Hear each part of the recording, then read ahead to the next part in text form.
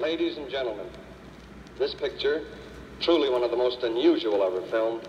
contains scenes which, under no circumstances, should be viewed by anyone with a heart condition